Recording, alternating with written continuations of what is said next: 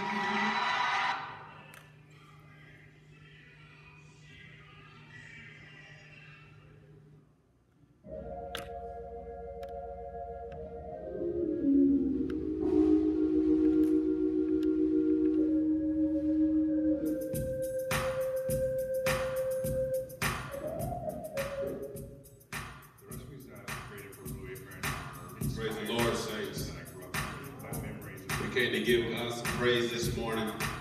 The Bible says, Let everything that have breath praise ye the Lord. Amen.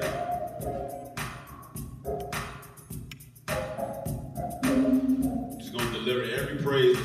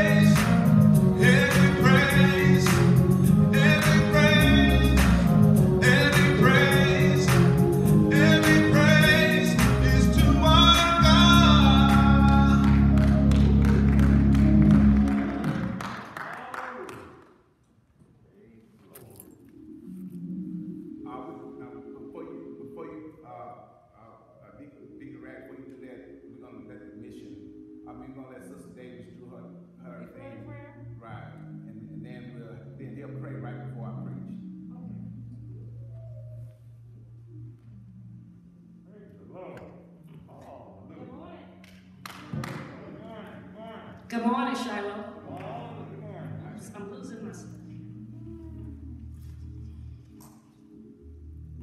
Well, today is Father's Day, and so I want to first off by saying Happy Father's Day to all the fathers out there. A couple of Sundays ago was, you know, we the mission, uh, the women's ministry. We like to recognize our women of the church. And so we, we, weren't meeting at that time, so we were not able to come out and do formal presentations at that time. So we did send out the gifts, but we'd like to recognize one of our awardees is here this morning, and that's Sister Toshi Young. If you would stand, she is our youth pastor's wife. She was one of our Mother's Day awardees, along with our First Lady, Sister Evelyn Christopher, and Mother Minna McLaren. So today I'm going to be presenting awards to our fathers. And the first one is going to the leader of the flock here at Shiloh, and that's our pastor, Pastor Gregory Christopher. We have a gift here for you from the mission, from the women's ministry. I'm going to put it in your bag. You're welcome. And then we also have a gift for Bishop in his absence. He's not here today, but we will make sure that we send this to Bishop this morning. And then we'd like to recognize our youth pastor. He does so much, and he has been very active in our Bible studies and our different programs. And so I'm going to ask him to come down this morning and um, receive his award. Uh, this is from our women's ministry. Thank you for all that you do. Now, we have one more presentation that we'd like to do. And before I do that, I, I would be remiss if I didn't say happy birthday to Suzette. Today is Susie Q's birthday. And, you know, we all love Susie Q. She is our church clerk. And I spent some time with her yesterday, and I promised her I would not forget her birthday, so I'm going by and see her after church. But I'd like to call down Deacon Larry Ofer. You know, Shiloh created a Father of the Year award uh, three years ago, named after Deacon Ofer for the hard work he's done in our community as well as the time he spends with other people's children. And so Deacon Ofer uh, has since named the award, and since he's here this morning, I'm going to ask him if he would mind reading uh, who our Father's Day nominee and winner is for this year. Praise the Lord. First, happy Father's Day to all the fathers. Um, it's truly an honor to it's truly an honor to present this uh, award to a deserving father. Uh, he's a father to pretty much all the youth in Shiloh as well as in the community. Uh, he's a hard worker. He loves the Lord. He loves uh, young people of all stripes. And without further ado, to our 2020 Father of the Year, Larry B. Ofer Father of the Year winner is Reverend Chavis Young. Hold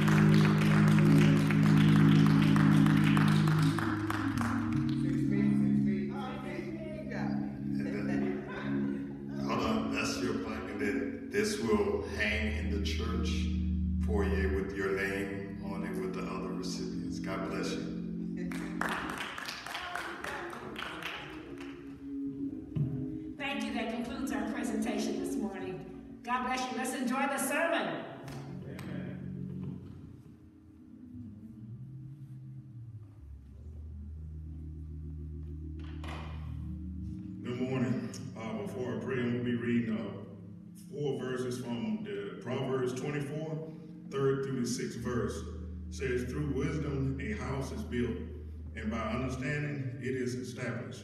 By knowledge the rooms are filled with all precious and pleasant riches. A wise man is strong. Yes, a man of knowledge increases strength. For by wise counsel you will wage your own war, and in a multitude of counselors there is safety. Amen. Let us pray. Our Father, our Heavenly Father, we come thanking you for giving us this day, Father, and for waking us up. Father, we thank you for continuing to guide us and give us the strength and love with your grace and your mercy. And Father, we ask that you continue to just watch over us as we continue to, to go against the things that that we are fighting for as injustice. Father, we dealing with the pandemic. And Father God, we ask that you just continue to keep our heart made with love and not turn into stone. Father, we ask that you continue to just put your arms around us and guide us and bless all our leaders, bless all our pastors throughout this, this state and throughout this world. Father, can you continue to put your arms around them and just bless them. We ask that you look over our First Lady that is in Shiloh Baptist Church. We ask that you continue to just watch over her and continue to give her the strength and help and just be able to support and continue to support her husband. And Father, continue to just watch over Shiloh Baptist Church along with him. Father, we just ask you to, to thank you for all the fathers today, that they continue to just give them the strength to lead their families. And Father, just put your arms around them and bless them as whatever it may be, as long as it is in, in, in your name and in your grace that you just push them forward. We ask that you continue to guide us, Father, as we go through the, the valley of the shadow of death. We ask that you just continue to push behind us and stay with us, Father. We, through all the trouble and turmoil, Father, we ask that you just continue to just guide us and, and just continue to just put your arms and hold us and just we know that you are there and you just we just continue to put our faith and our trust in you. Father God, we thank you. We thank you and we ask that you continue to watch over our sick, watch over the ones that might be grieving the loss of a loved one. Father God, we thank you. In Jesus' name we pray. Amen. Amen.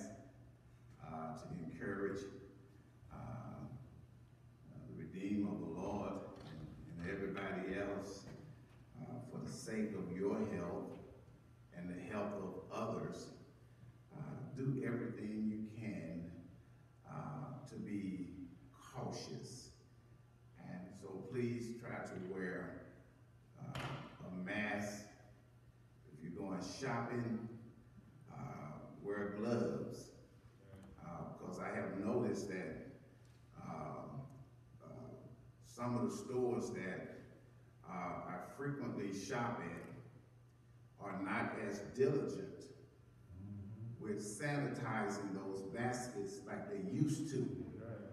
And so, uh, uh, uh, get you some disposable gloves. And so when I go to one of those places, I put those gloves on, and when I come out, I throw them away. Amen. Amen. Because uh, uh, Minister Young, I'm trying to live. I'm not let cash in no life insurance policy. Amen. This soon. Amen. And so, so I'm trying to live. Um, uh, so please wear your mask. Amen. Uh, just a couple announcements before I get started. Uh, uh, certainly, we want to uh, thank the uh, uh, Christian Education Ministry uh, and, and the chairperson, Sister Davis, for, amen, thinking about uh, the men today. Amen. She she came from, from a long way uh, to be here today, and we really appreciate that. Thank you, uh, Sister Davis. Uh, and also, we want to uh, uh, uh, ask all of us to pray for our sick and shut-ins. Amen. Um, we have a few members that are really going through. Uh, we ask that you get your sick list from uh, Susan Q. If you contact her, she can send you an electronic copy of the sick list. And then I want to encourage all the uh, members uh, or those that are watching uh, Vivid Facebook or YouTube that if you would like uh, communications from us, uh, please uh, call the church and speak slowly. Uh, give us your name and your email address. Amen. And that uh, information would not be used uh, for just uh, anything other than uh, the church and, and, and what we need uh, to get, what information we need to get out to church members. And so pray for the Birch family. Uh, most of us know that Sharon Birch, uh, aka Sister Love, uh, passed, I think, Monday. They found her uh, uh, uh, in her home already uh, demised. And so pray for uh, the family uh, as they look at how uh, uh, preparing for her life celebration. Uh, remember Tisa, uh, is out of town now, being with the first cousin that actually grew up like sisters in the same household. And so pray for her as she uh, share with, uh, with her family. And then and just remember all of our bereaved families. Uh, we're excited that next Sunday uh, we'll be having uh, church in our cars at, at our church. That's the name of the church. That's Pastor Dean Curry, a good friend of mine. Uh, and and uh, he's the bulk of his congregation is Caucasian. It's been a while since we fellowship, amen, outside of our norm. And so we're excited about that. The address is 5067th Avenue.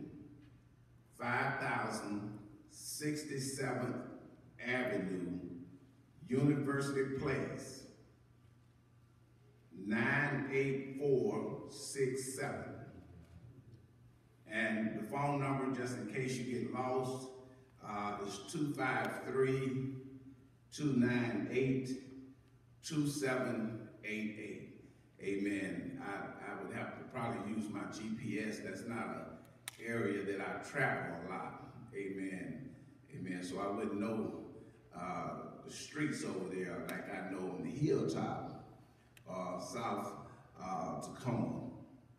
Amen. So we ask that you, you, you do pray uh, that you uh, the church will show up and, and we, we want to be blessed. We'll be uh, uh, doing Facebook Live from that event next Sunday. Pastor Dean will give a 15 minute sermon and then I will give a 15 minute sermon. And so we're excited about uh, uh, uh, teaming up as uh, vessels of God to disseminate the word of God. Let's pray, Father, in the name of Jesus. First of all, uh, Master, we just want to wish you a happy Father's Day. You are the epitome of what a father should be. And so, Lord God, we thank you that uh, you have loved us, uh, Father, even in our worst state. And so we are grateful, Lord God, for you loving us so much that you gave your only begotten Son to pay a debt that we owe but could not pay. And then, Father, we thank you for fathers just all over this world today, Lord God. And we just pray that you'll minister to fathers right now, Lord God, in a special way.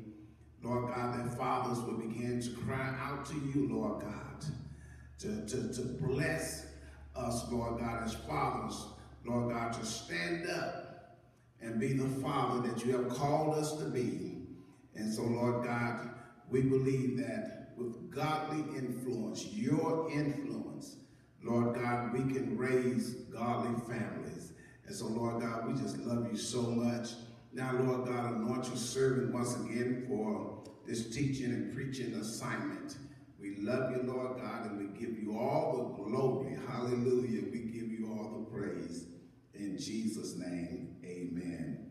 Certainly, we do bless God today. We uh, give him all the glory and all the praise. And, you know, the songwriter said, if I had 10,000 tongues, I wouldn't be able to praise him sufficiently.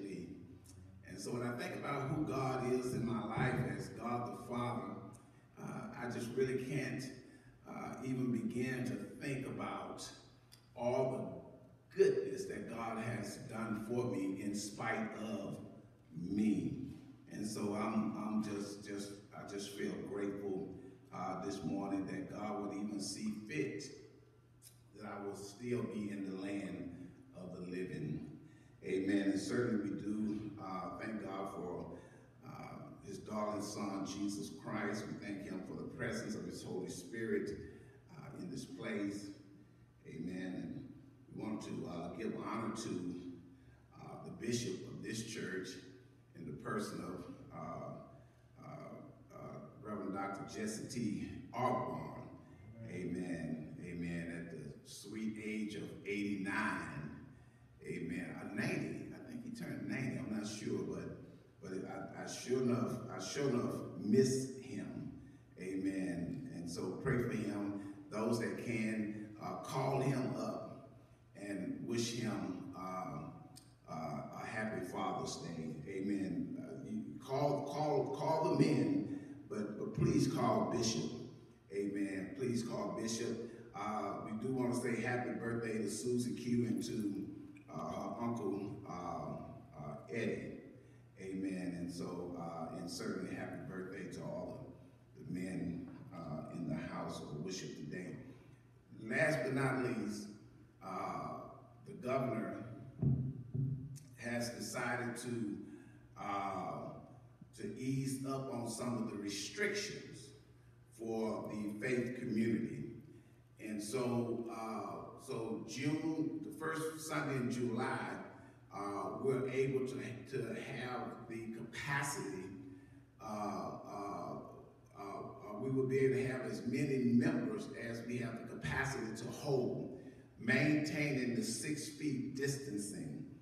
And so, so we're asking the members, those that have been watching us, visit Facebook. If you don't have a church home, if you don't have a church home, we want to invite you to the Shiloh Church. If you already have a church home, we want you to go to that church. Amen. We want you to go to that church. But if you don't have a church home, amen. And, and I pray that uh, that that uh, pastors uh, will will, will uh, demonstrate some Christian wisdom because some some churches won't open up until later. Just because they members will come here just because they want to get out of the house is not a, a reason for us to start claiming them as members. Amen. And so we're putting a, a moratorium in place here at Shiloh. Amen. That, that if you're from another church, amen, and you come here and you want to join, we got to talk to your pastor first. Amen. If I know that you're coming from another church, uh, uh, we need to talk to your pastor because we're all in this thing together. Amen. It's not about uh, trying to draw members from other uh, uh, pastoral leadership. It's, it's Brother Barry, it's so many unsaved folks out there. Amen. Let's go get some of them. Talk to me, somebody. Let's go get some of them. And so, and then, uh, last but not least, uh, we, we thank God for Bone. Uh, actually, she had planned to be here today, uh, uh, but I didn't have any gas in my truck. Um, it's got five miles to empty. And so I, I had to take her vehicle, amen, which was on full. and so, so she really wanted to be here, and I want her to know how much I appreciate uh, her wanting to be here today uh, to help us as we celebrate uh, Father's Day. And, and, and we uh, congratulate our youth pastor for being chosen as Man of the Year. That's not an award that we take lightly. Amen. It has to be earned. Amen. There's no favoritism uh, in that award. Amen. You have to demonstrate, amen, your ability to, to care for uh, not only your own children, but other children. Amen. Let's look at uh, the book of Proverbs, the 20th chapter, verse 7. I want to read from the uh, New King James uh, Version. Amen. Uh, the book of Proverbs, the 20th chapter, verse 7. It simply says, The righteous man walks in his integrity. His children, my God, pay attention to this. His children are blessed after him. His children are blessed after him, after him. And so I want to talk to us from this thought, the influence of a father. I remember some years ago I talked about the influence of a mother, and I uh, so proudly uh, talked about uh, Madea, who, who now is with the Lord, uh, didn't have a high school diploma, uh, but she was a lawyer in a courtroom. Uh, Brother Barry caught me dead to right. I broke in a place, dropped my driver's license in the place. I was dead. They got me dead. They caught me. Bob, my, dear came to the courthouse, said to the judge, Judge, we're not here to debate whether this boy is innocent or guilty. He's guilty. But what I am asking is for mercy. And don't you know I walked out of that room, that courtroom with my Madea? and this was in Louisiana. And so, and I believe that that that that man, God has has uh, given the fathers a, a, a, a influence, get this, that cannot be duplicated. That he, he has given the fathers, there's something uh, uh, that's instilled in us by God that cannot be cloned. And so I want to talk about the influence of a father. Uh, and, and let me hear to say to, uh, uh, once again, to all of those that are watching us, happy, happy Father's Day. I, I have so many uh, uh, big brothers and, and fathers, and, and, and even in the secular arena, that I so much appreciate. But all of my, my heroes as men, that I, I, I see them as father figures, amen, are in the church. I don't have a TV role model, uh, Barry. They're, they're all in the church. I, and that's not to say I don't adore some of them. I'm just saying I don't look at look to them as role models. I discovered, brother, that our text for edification is found in the treasury of what is classified as Hebrew poetry. Uh, the book of Proverbs is one of the five books that falls in this category.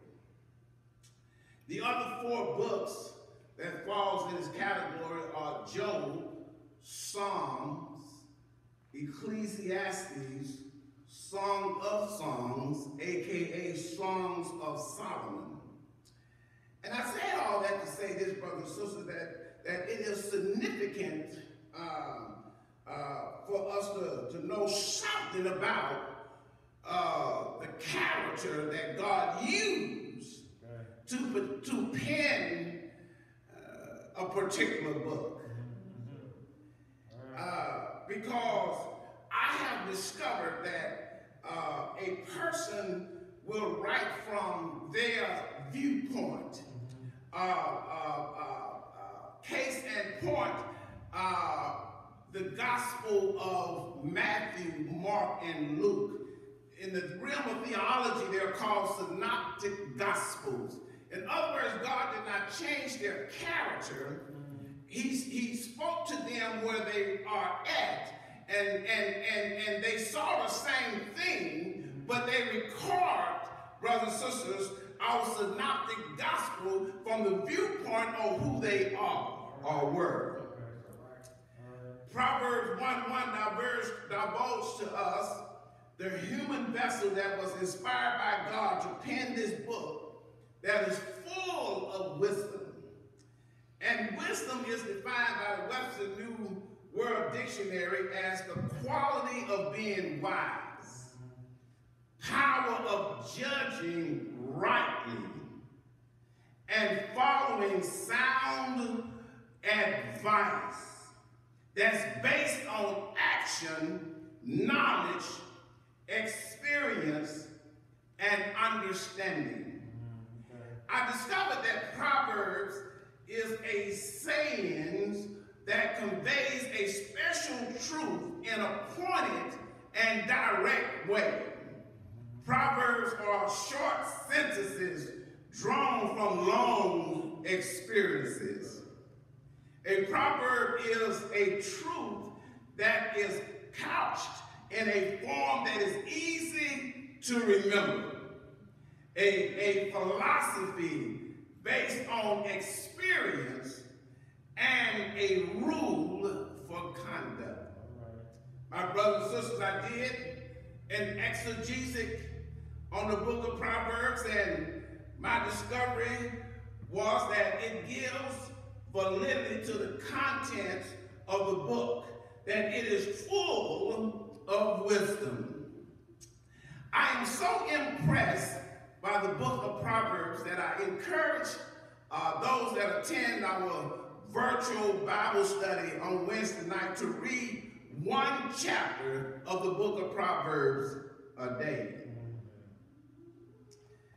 And also, brothers and sisters, uh, it gives verity to the proclamation, uh, uh, like it or not, that that that uh, fathers have influence on their children. Ah, even an absentee father impacts a child one way or another. Most times from a negative place. Uh, I don't care how we slice it. A father has influence on their children, whether they like it or not. And let me hear to say that just because uh, uh, uh, Marietta is not my biological daughter, I still have an obligation as a father, as a man of God, to walk with integrity before her. Talk to me, somebody.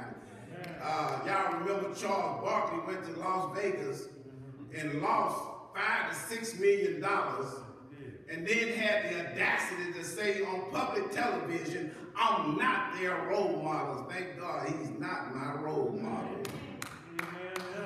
But let me say that Charles Barkley, whether he like it or not, has an obligation.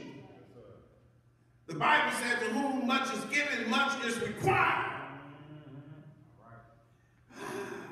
Brothers and sisters, at the genesis of Solomon kingship, we find in 1 Kings chapter 3, verses 7 through 15, I'm just going to paraphrase this, it divulges to us that Solomon prayed to God for something that's more precious than silver and gold. If you read that particular, those particular texts, brothers and sisters, we'll discover that at the genesis of his kingship, he prayed for wisdom. And brothers and sisters, God was so impressed with his prayer for wisdom to lead the people of God that God gave him both wisdom and wealth. My God.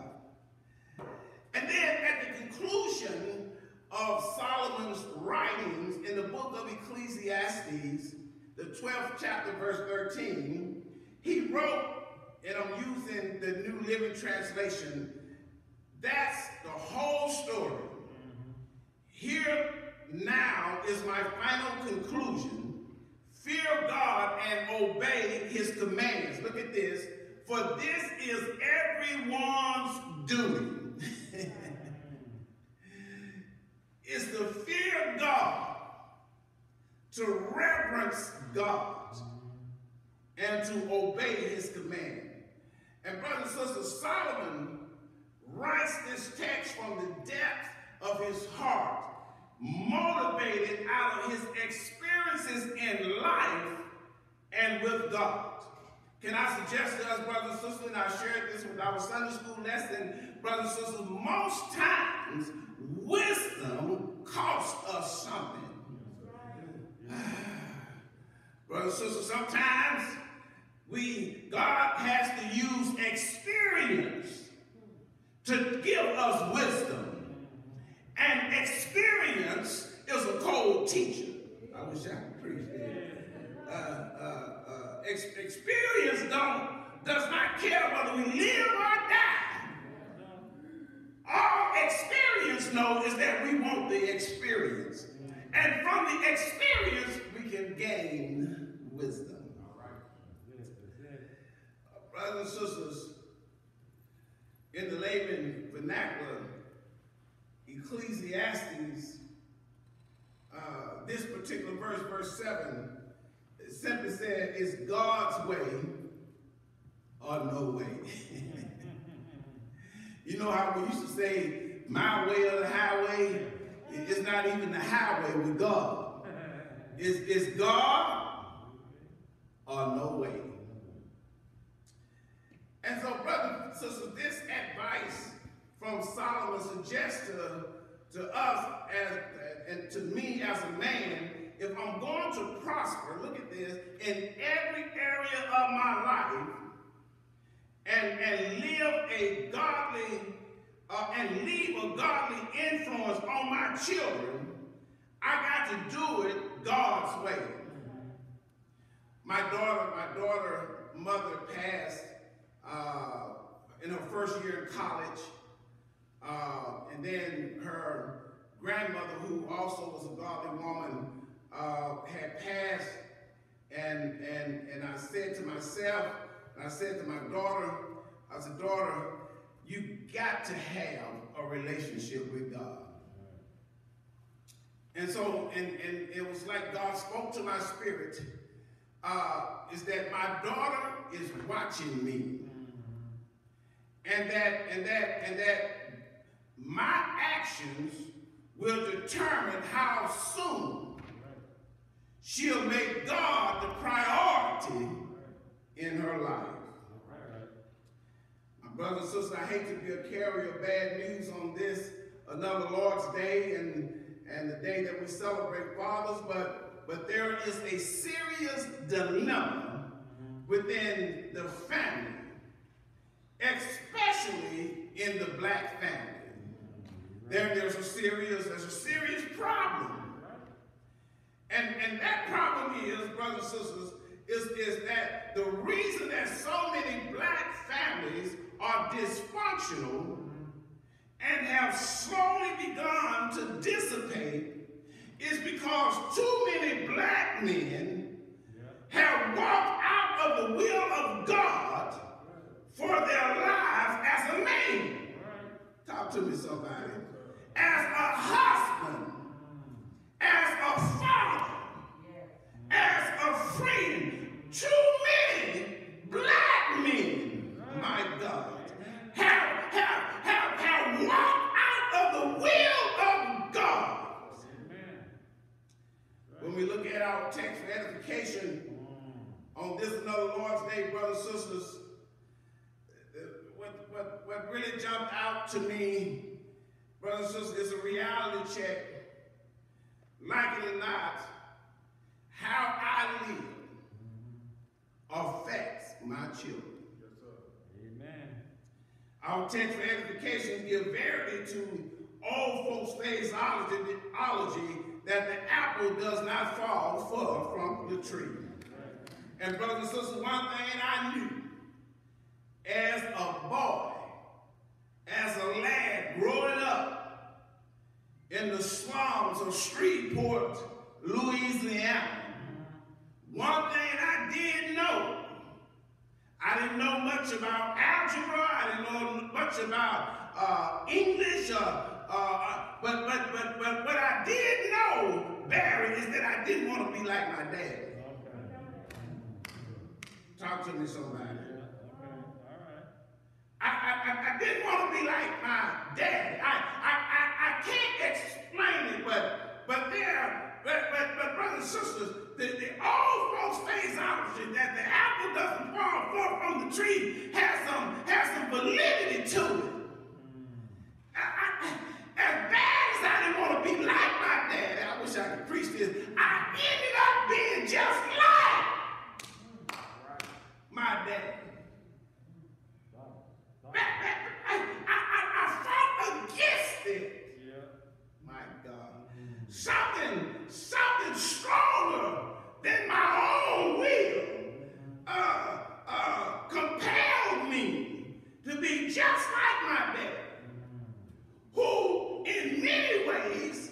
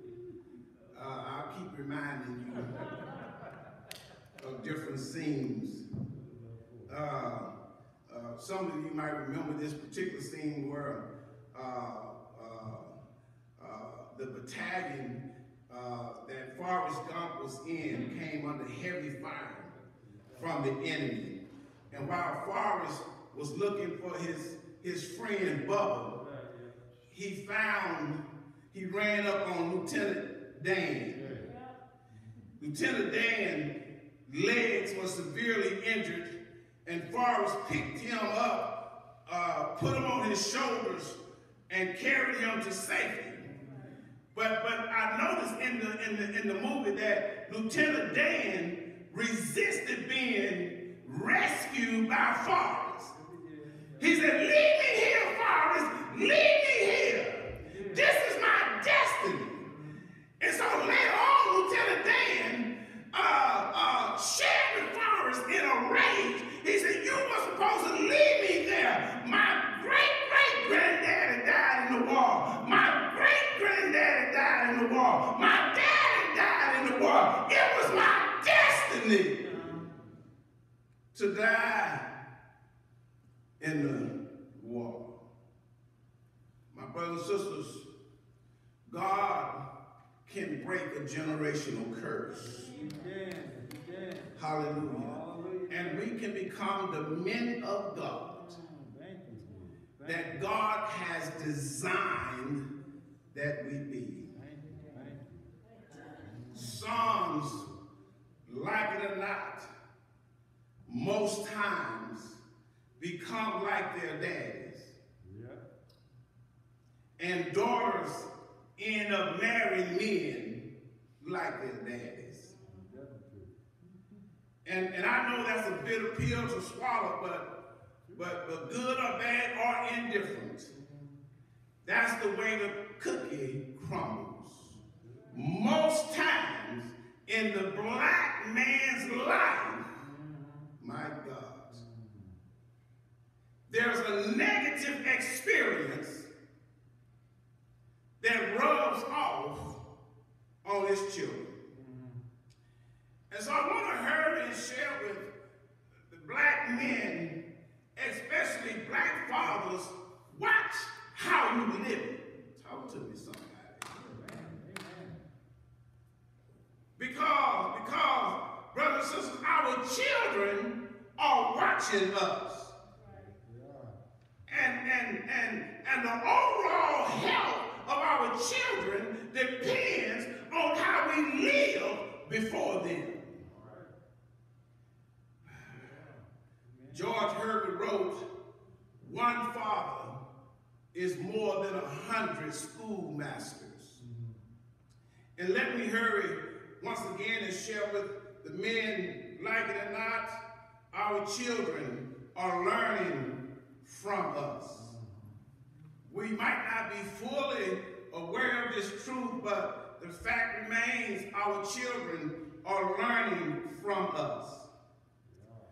Uh, my brother and sister, I, I pretty much raised my only child, my daughter, only biological child. And uh, because her mother worked midnight as a uh, nurse, um, uh, LPN at St. Joseph Emergency Room, so most days she came home drained and she slept a lot. And so that left me uh, caring for my caring for my daughter, and my daughter was a daddy's girl. And uh, and brothers and sisters, uh, my my my my daughter. Uh, one day she was sitting at the kitchen table, and uh, she had rolled up a dollar bill, and she was putting it by her nose as though she was snorting something.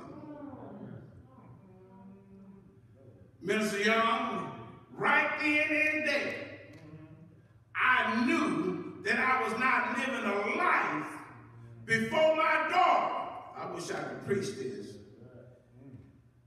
That would uh, that would have given her her best chance at having a successful life.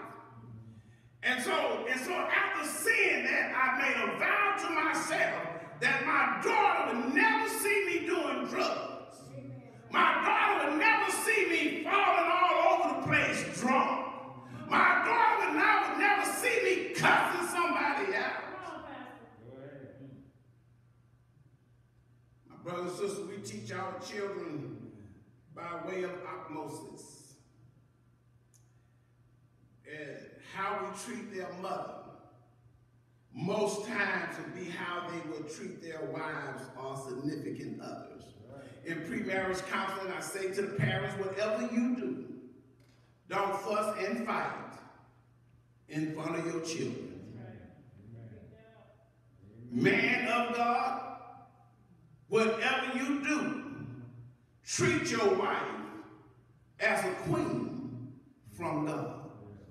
And your son, talk to me somebody, will grow up knowing how to, how to treat his wife. Brothers and sisters, how we live will teach our children to have a proper attitude uh, by how we display the attitude that we have. If we are compassionate and understanding, brothers and sisters, or rather we are harsh, critical, dogmatic, brothers and sisters, either way, one or the other is going to rub off on our children.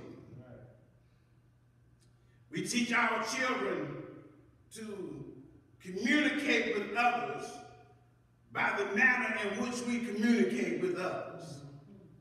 If we use wholesome speech, they will most times use wholesome speech. If we communicate with vulgarity, most times they will use vulgarity. You know, brother, so I didn't, I didn't, I had to teach myself how to cuss. uh, uh, Sister Davis, when I joined the military, seemed like everybody that was around me knew how to cuss.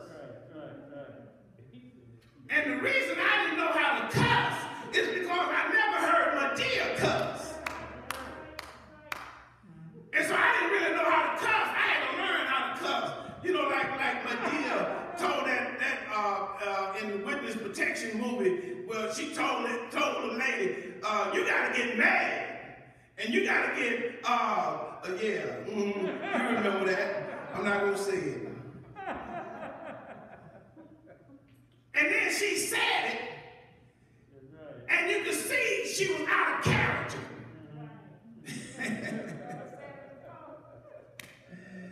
we teach our children how to attend church how we attend church. We teach our children how to be faithful to be uh, or unfaithful to God. We teach them what priority to place on their relationship with God by the priority we put on our relationship with God. And so, so our youth pastor, Minister Young, would say, Pastor, uh, we won't be at church. We're going to go on a weekend outing. Might be a special occasion, I can't remember. And I said, okay, cool, man, have fun.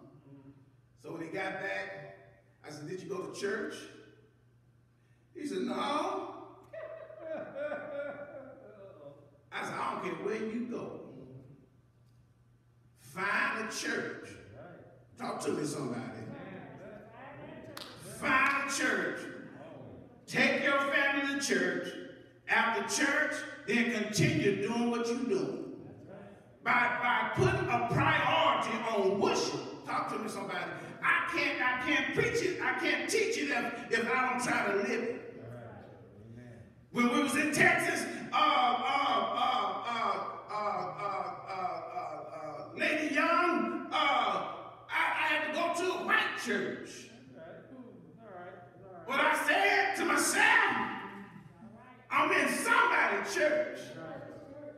Because I wanted my daughter to know that, that, that, that God has mandated that we forsake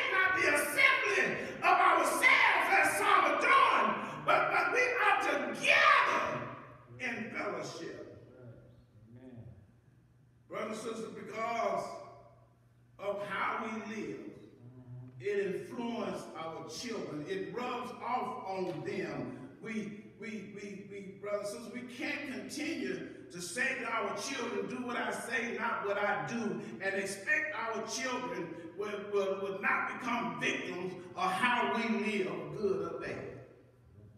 I'm reminded of two little stories, and I'll let you go, uh, that I think are, uh, elementary in nature, but paramount in its reality. A father who was hiking his way alongside a mountain, and his son called out to him, Take care, father. Take a safe path for I am coming after you. Y'all missed that. He wanted his daddy to know that he needed him to be conscious of the path that he takes because he would be following after him. And so as black men, as black fathers, we need to be careful about the path we take because our children are following behind us. And then there was this little story, three hairs, and lost influence.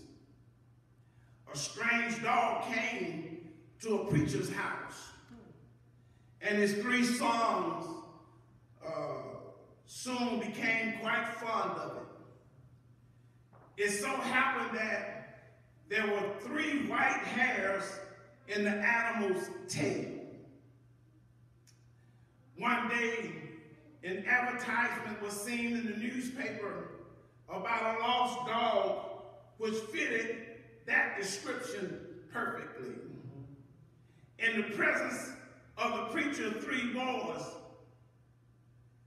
he decided that he would carefully separate the three white hairs and remove them from the dog.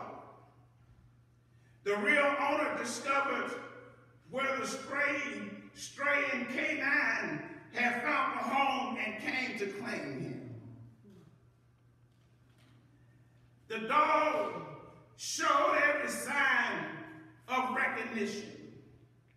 And so the man was ready to take him home.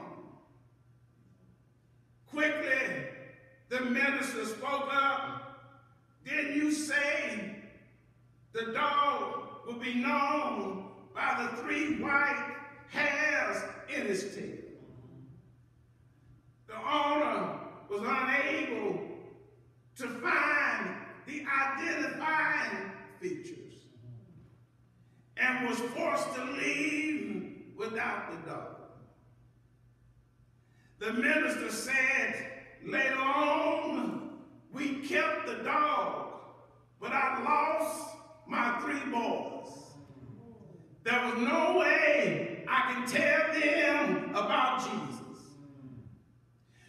Scheming, conniving, and lying. And so I want to tell us, brothers and sisters, especially the black men, uh, whatever you do, watch how you live. Because our children are watching us. And you might be in leadership uh, and you still need to watch how you live. And so that's why I became a Christian. That I can follow after Jesus. And if I can follow after Jesus, then the children that see me have a good influence as a black man.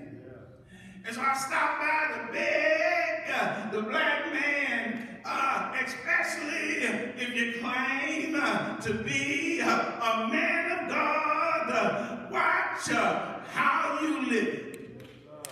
I can hear Bishop Dawes saying, don't be slipping and sliding. Don't be knocking on somebody else's door and you got your own uh, wife at home. I stopped by to tell somebody that uh, I have made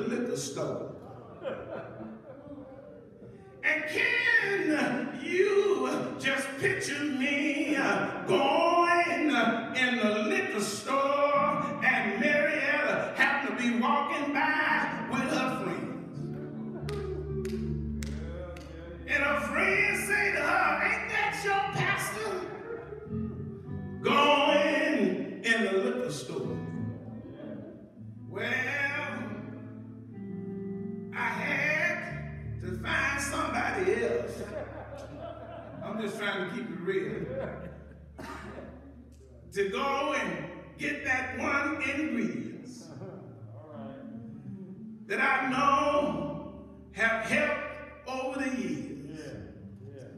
My point is, as black men, if we want to save our families,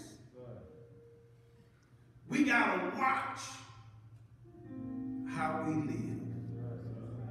If you're here today and you're watching us, Vivid, Facebook, YouTube, and you have not made a decision for Christ, you have never confessed that Jesus is Lord and that he was raised from the dead on the third day. I want you to accept him as your Lord and Savior. You don't have to be in the confines of this sanctuary. Right where you are at. You, you can humble yourself before the Lord and say, God, I have come short of your glory. And I heard the preacher say, For God, you so loved the world that you gave your only begotten Son, that whoever shall believe in him shall not perish. I want to accept Jesus in my life. It's a confession of faith. You don't have to jump up and down. You don't have to be a deep theologian. All you have to do is say, Here am I. And if you are, if you seem to be struggling all the time, want to try Jesus. Can I, can I share with you from my own experiences that once I rededicated my life to, to the Lord, I, I can bear witness with the songwriter that says,